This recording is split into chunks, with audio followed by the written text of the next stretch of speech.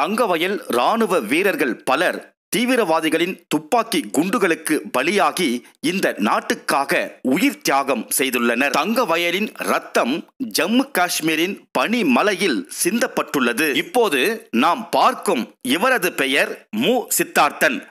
Thangavayal oriental லைனை சேர்ந்தவர். ஆயிரத்து தொள்ளாயிரத்து தொண்ணூத்தி ஆறாம் ஆண்டு ஆகஸ்ட் பதினைந்தாம் தேதி இதே சுதந்திர நாளில் ஜம்மு காஷ்மீர் ஸ்ரீநகரில் தீவிரவாதிகள் உடன் நடந்த துப்பாக்கி சண்டையில் இவர் தனது உயிரையே இந்த நாட்டுக்காக அர்ப்பணித்தார். அப்போது இவருக்கு வயது முப்பத்தி நான்கு.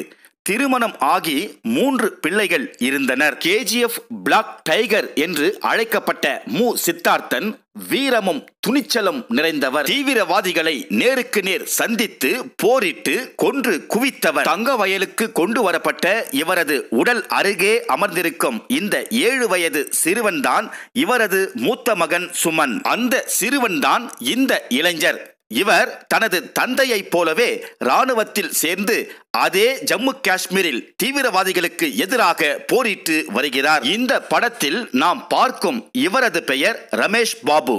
இவர் Thangavayal Coromandel new model house பகுதியை சேர்ந்தவர். இரண்டாயிரத்து மூன்றாம் ஆண்டு மார்ச் மாதம் ஆறாம் தேதி நாகாலாந்தில் நக்சலைட்டுகள் உடன் நடந்த துப்பாக்கி சண்டையில் இவர் தனது உயிரையே இந்த நாட்டுக்காக தியாகம் செய்தார். பத்தொன்பது வயதில் இந்த பணியில் சேர்ந்த இவர் இருபத்தி நான்கு வயதில் தனது உடலை துப்பாக்கி குண்டுகளுக்கு ஒப்பு கொடுத்தார். தங்க வயலின் வீரமும் துணிச்சலும் இவருக்கு அபாரமாக இருந்தது. இவர் சிறந்த ராணுவ வீரன் என்று பெயர் எடுத்தவர். இவருக்கு திருமணம் செய்து வைக்க வீட்டில் கனவு கண்டனர். ஆனால் இவரே கனவாகி போய்விட்டார். இந்த படத்தில் நாம் பார்க்கும் இவரது பெயர் சங்கர் பாபு. இவர் ரமேஷ் பாபுவின் தம்பி. இவரும் ராணுவத்தில் இணைந்து அண்ணனைப் போல் நாட்டை காக்கும் பணியில் ஈடுபட்டுள்ளார்.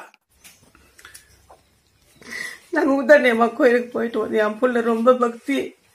அதனால கோயிலுக்கு போயிட்டு வந்தோம். வந்து வீட்டில் படுத்து வந்தேன் ரமேஷ் பாபு யாரு? இப்படி டெட் ஆயிட்டா அப்படின்னு சொன்னாங்க வந்து.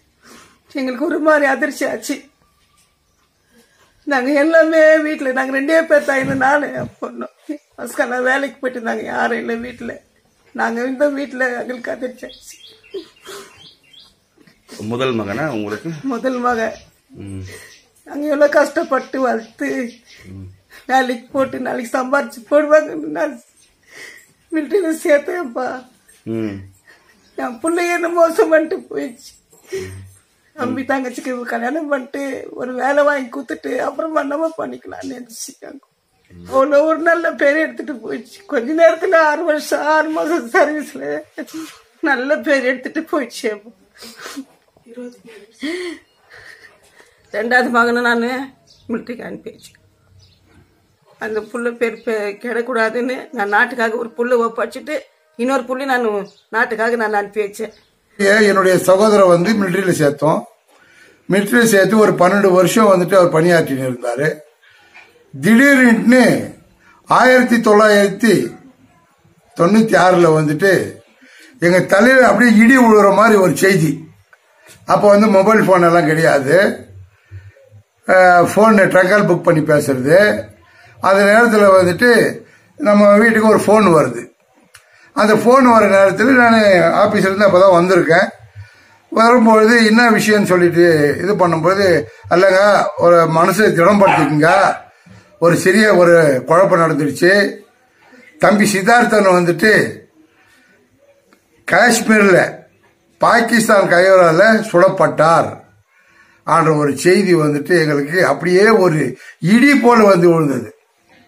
அந்த நேரத்தில் வந்துட்டு ஆகஸ்ட் 15th அந்த இரவில் இது எப்படி நடந்தது எப்படி நடைபெற்றது என்று சொன்னா அந்த பதினைஞ்சு நாளைக்கு முன்ன பாகிஸ்தான் கா- தீவிரவாதிகள் நம்ம இந்திய நாட்டில் காஷ்மீர் பகுதியில் ஸ்ரீநகர் பகுதியில் அவர்கள் ஊடுருவதா செய்தி வந்து அந்த ஆர்மிக்கு கிடைக்குது.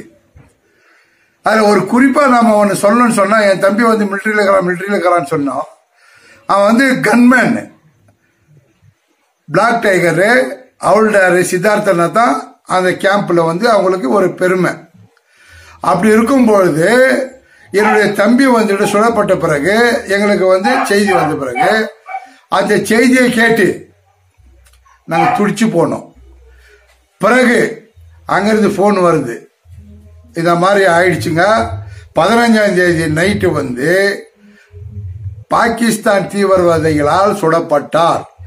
எப்படி சுடப்பட்டார் எதுக்கு என்ன காரணம் நாங்கள்லாம் ஊடுருவும் பொழுது பதினஞ்சு நாளைக்கு முன்ன ஆகஸ்ட் 15க்கு முன்ன பதினஞ்சு நாளைக்கு முன்ன ஒரு மாதத்துக்கு முன்னு வச்சுக்கோங்க. அந்த ஒரு மாதத்துல பாகிஸ்தான் தீவிரவாதிகளை அந்த இதுல காஷ்மீர்ல ஸ்ரீநகர் பார்டர்ல அவங்க பதவினுக்கிறாங்க அந்த வீட்டில் போயிட்டு இவங்க அட்டாக் பண்ணும் பொழுது என்னுடைய தம்பி ஃபார்வர்டில் போகிறார் அவர் ஃபார்வர்டில் போயிட்டு அவர் வந்து ஷூட் பண்ணுறாரு அவர் ஷூட் பண்ணும்போது நாலு பாகிஸ்தான் தீவிரவாதியும் கொல்லப்படுறாங்க.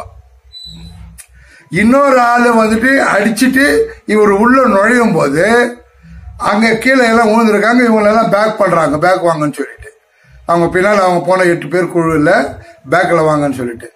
ஏன்னா இவர் அவுல்டார்ன்ற பேசி கன்மேன் இவர் தான் மெயின் ஏகே ஃபார்ட்டி செவன் துப்பாக்கி வந்திருக்கிறது இவர்கிட்ட தான் அப்படி இருக்கும் பொழுது அவரை சுட்டுட்டு வீழ்த்திட்டு உள்ள இருக்கிற பாடியை வெளியே இழுக்கலானும் பொழுது அங்க வந்து இன்னும் ஒரு ரெண்டு பேர் பதுங்கி இருக்கிறாங்க.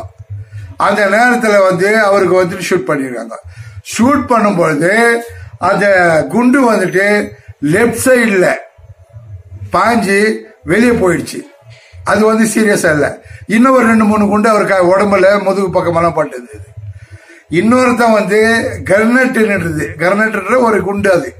அது கடிச்சு வீசும் பொழுது அது பிளாஸ்ட் ஆகி அது கிட்னி லிவர் எல்லாம் அடிபட்டு மோசமா நிலையில பதினஞ்சாம் தேதி நைட் எடுத்துட்டு போயிட்டு அவங்க ஹாஸ்பிட்டல் அட்மிட் பண்ணாங்க. பதினாறாம் தேதி நைட் பதினேழு காலையில வந்து அவர் வந்து உயிர் பிடிச்சிச்சு ஆன்னு சொல்லிட்டு நம்மளுக்கு செய்தி இல்லை இல்ல நாங்க வர்றதுக்கு தயாரா இருக்காங்க சொல்லும்பொழுது இல்ல நாங்களே பாடியை ரிமூவ் பண்ணி எடுத்து வந்துடுறோம். நீங்க பெங்களூர் வந்துருங்க ஏர்போர்ட்டுக்கு நான் அதுல குறிப்பா இன்னொன்னு என்ன சொன்னாக்கா அங்கே காஷ்மீர்லயே இது குண்டடிப்பட்டது ரொம்ப மோசமான நிலைமை ஆயிட்டுக்குது. அதனால வந்துட்டு நீங்க வந்து யாருன்னா மூணு பேர் அவர் துணவியாரு அவர் தாய் தகப்பனாரு நீங்க. வந்தீங்கன்னாக்கா இங்கே பார்த்துட்டு அடக்கம் பண்ணலாம். நாங்க ஒத்துக்கல. என் தம்பி இந்த நாட்டுக்காக உயிர் தியாகம் பண்ணியிருக்கிறான். நீங்க சாதாரணமா வந்து மிலிட்ரிக்காரனால செத்துருவான். அங்கே பாடல பொச்சிருவீங்க அங்கே கொளுத்துடுவீங்க. எடுத்து போடுவீங்க. அது இல்ல விஷயம். இந்த நாட்டுக்காக உயிர் தியாகம் செஞ்சிருக்கிறான். காஷ்மீர்ல வந்து ரத்தம் செஞ்சிருக்கிறான் இந்த தங்க வயல்ல பிறந்த மகன் அவன். இந்த தங்க வயலுக்கு இந்த தங்க வயல் ம- மண்ணுக்கு வந்துட்டு அவனுடைய உடல் வரணும். அதுக்கு பிற்பாடு பாடி வந்து பெங்களூருக்கு எடுத்துட்டு வந்து பெங்களூர்ல இருந்துட்டு கேஜிஎஃப் கொண்டு வந்தோம். அவன் வந்து சீல் போட்டு பாக்ஸுக்கெல்லாம் சீல் போட்டு போர்த்தி எடுத்துட்டு வந்தாங்க. சரித்திரத்திலேயே ஆர்மியில வந்துட்டு செத்தான்னு சொன்னா தங்க வயல தான் ஃபர்ஸ்ட் ஃபர்ஸ்ட் தொண்ணூத்தி ஆறுல பாடி எடுத்துட்டு வந்து தங்க வயல் முழுக்க. ஊர்வலமா தங்க வயல்ல உள்ள அத்தனை பேர் எம்பி எம்எல்ஏஸ் டிசி ஸ்கூல் மாணவர்கள் ஹோம் கார்ட்ஸ் போன்றவர்கள் எல்லாம் அன்னைக்கு வந்து பொதுவில் வச்சிருந்த ரெண்டு நாள் கிரவுண்ட்ல அந்த ரெண்டு நாள் வந்து எல்லாருமே மரியாதை செலுத்தினாங்க. எல்லா பகுதியும் ஏன்னா முதல் முதல்ல ஆர்மியில குண்டடிப்பட்டு ஒரு உயிர் தியாகம் செஞ்சார் சொன்னா அது சித்தார்த்தன் தான் ஃபர்ஸ்ட் தொண்ணூத்தி ஆறுல வரல. அப்படி இருக்கும் பொழுது அவருடைய பாடி எடுத்துட்டு வந்து இங்க வச்சு அதுக்கு பிற்பாடு வந்து மூணாவது நாள் நாங்க ஊர்வலமா கொண்டு போய் அடக்கம் பண்ணோம். அப்ப ராணுவ மரியாதையோட ராணுவ மரியாதையோட குண்டுகளை வானத்தை நோக்கி முப்பத்தி ரெண்டு குண்டு வெடிச்சு அதுக்கு பிறகு அடவக்காட்டு செய்தோம். இது வந்து சரித்திரம். சாதாரணமா இல்ல. என் குடும்பத்தில் வந்துட்டு நாங்க வந்து உயிர் தியாகம் செய்த தியாகி குடும்பம் நாங்க எல்லாம் வந்துட்டு ஏதோ சுதந்திர நாள் வந்து கொடி வச்சுட்டு மிட்டாய் கொடுக்கறது இல்ல. அன்றையிலிருந்து இன்று நாள் வரைக்கும் கூட நாங்க அதுக்கு முன்ன காலமாகட்டும் சுதந்திர தினம் என்று சொன்னால் நம்ம கொடி அழுத்தி மக்களுக்கு இனிப்பு வழங்கி கொண்டாடுவோம். ஆனால் எங்களுக்கு துக்கம்னு சொன்னா பெரிய துயரம். கம்மியான துயரம் இல்ல. பெரிய துயரம். அந்த தங்கவயல் மக்களுக்கு முழுமையா முழுமையா என்னுடைய தம்பி என்னுடைய ரத்தம் காஷ்மீர்ல சுடப்பட்டு அங்க ரத்தத்தை தெளிச்சு இந்த தங்க வயல்ல பிறந்தோன்றதுனால இந்த தங்க வயல்ல அவனுடைய உடலை வந்து தாகனம் செய்தோம்னு சொன்னா அது எங்களுடைய குடும்பத்துக்கு அது ஒரு இந்த நாட்டுக்காக நாங்க தியாகம் செஞ்சு இந்த மக்களுக்காக நாங்க தியாகம் செஞ்சது என்பதை நான் தெளிவுபடுத்த ஆசைப்படுறேன். சுதந்திரம் பெற்ற சுதந்திரத்துக்காக போராடிய அத்தனை தியாகிகளுக்கும் என்னுடைய வீர வணக்கத்தை தெரிவித்துக் கொள்கின்றேன். ராணுவ வீரர். என் ரமேஷ் பாபு. அவருடைய தம்பி நான் பேசுறது என் பேர் சுரேஷ் பாபு. இந்த மார்ச் டூ தௌசண்ட் த்ரீ பிப்ரவரியில் அவர் லீவ் வந்தார். லீவ் வந்துட்டு திடீர்னு ஒரு ஃபோன் வந்தது. இந்த மாதிரி நாகாலாண்டுக்கு உனக்கு போஸ்டிங் நாகாலாண்ட்லேருந்து ஃபோன் வந்தது. இந்த மாதிரி பூட்டானுக்கு போனோம். நீங்கள் இம்மிடியேட்டாக லீவ் கேன்சல் பண்ணிட்டு நீங்கள் வரணும்னு சொல்லிட்டு சொன்னாங்க. பிப்ரவரி மாதம் இருபத்தி ரெண்டாம் தேதி அன்னைக்கு கோலார் தங்கவையில நாகாலாந்துக்கு போய் இருபத்தஞ்சாந்தேதி அன்னைக்கு போய் சேர்ந்தது. அங்கே சேர்ந்த உடனே இந்த மாதிரி உனக்கு பூட்டானுக்கு ஆர்டர் வந்திருக்குது நீ பூட்டானுக்கு போனா அப்படின்னு சொல்லி சொன்னாங்க. இல்லை சார் வீட்டு குடும்பத்தில் கஷ்டம். அந்த கஷ்டத்துக்கு நான் பேமெண்ட் வாங்கி அனுப்பிச்சிட்டு நானே.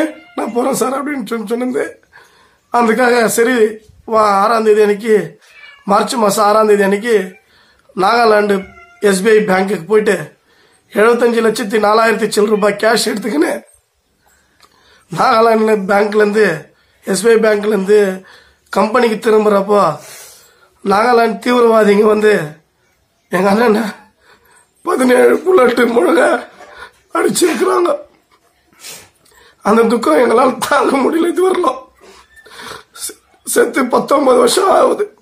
இனி வரலாம் அவர் மறக்க முடியல. எங்களால் அந்த அந்த அதிர்ச்சியிலேருந்து இனி வரலாம் தாங்க முடியாத அளவில் நாங்கள் நடந்துன்னு இருக்கிறோம். வருஷம் வருஷம் நாங்கள் மார்ச் ஆறாம் தேதி அன்னைக்கு ஒவ்வொரு விதமாக அவர் கல்யாணம் தான் நடக்கல. அட்லீஸ்ட் அவர் சத்த நாள் அன்னைக்கு ஒவ்வொருத்தருக்கும் ஒரு ஒரு மாதிரி நாங்கள் ஸ்கூல் யூனிஃபார்ம் எடுத்து கொடுத்து ஒரு ஆறுதல் படுத்திக்கிறோம். ஒரு வயசானவங்களுக்கு புடவை கொடுத்து நாங்கள் ஒரு ஆறுதல் பண்ணியிருக்கிறோம். அந்த மாதிரி நாங்கள் வருஷம் வருஷம் நாங்கள் செஞ்சுட்டு தான் இருக்கிறோம். அதனால வந்து எங்களுக்கு எல்லா வகையிலும் எங்களுக்கு இந்த ஊர் ஜனமோ தங்கவயல் மக்கள் எல்லாருமே எங்களுக்கு கோஆபரேட் கொடுத்தாங்க. அந்த நாள்லேருந்து இந்த நாள் வரலாம். என் பேர் சுனீதா. எங்கள் அண்ணன் பெரியவர் ரமேஷ் பாபு. எனக்கு வந்துட்டு எவ்வளோ ஆசைலாம் வச்சாரு சார். நான் நான் போயிட்டு நான் பா காசு அனுப்புகிறேன் நகைலாம் எடுத்து இன்னொரு வீட்டில் கேட்காத அளவுக்கு நீ வந்துட்டு நான் எடுத்து நான் காசு அனுப்புகிறேன் நீ வந்துட்டு கல்யாணத்துக்கு நீ பண்ணிக்கோ. நான் அதுக்கு பிறகு என் தம்பி வேலைக்கு அனுப்பிட்டு நான் போடுறேன் அப்படின்ட்டு சொன்னாங்க. இப்படியெல்லாம் சொல்லிட்டு போயிட்டு வரும்போதும் நானும் அம்மாவும் வந்துட்டு உதயநம்ம கோயிலுக்கு போயிட்டு வந்தோம். போயிட்டு வீட்டுக்கு வந்திருந்தோம். இது மாதிரி ரமேஷ் பாபு யாருன்னு கேட்டாங்க. நான் தான் வெளியே போனேன். போனதுக்கு எங்க அண்ணா தான் சார் அப்படின்னு. இது மாதிரி வந்துட்டு இது மாதிரி ஷூட் பண்ணிட்டாங்க. தீவிரவாதி அப்படின்னாங்க. அம்மாவுக்கு அப்பயே அதிர்ச்சி ஆயிடுச்சு. நானும் நானும் அம்மா ஒட்டி தான் வீட்டில் இருந்தோங்க. அண்ணாங்கெல்லாம் வேலைக்கு போயிட்டு இருந்தாங்க. அம்மாட்டு ரொம்ப துக்கமா இது ஆயிடுச்சு சார். அவ்வளோலாம் ஆசை வச்சார் சார். ஒரே தங்காச்சிக்கு இது. நான் எல்லாம் பண்றேன் நல்ல மாதிரி அப்படின்னு சொல்லிட்டு போனாரு. திடீர்னு மாதிரி ஆயிட்டாரு.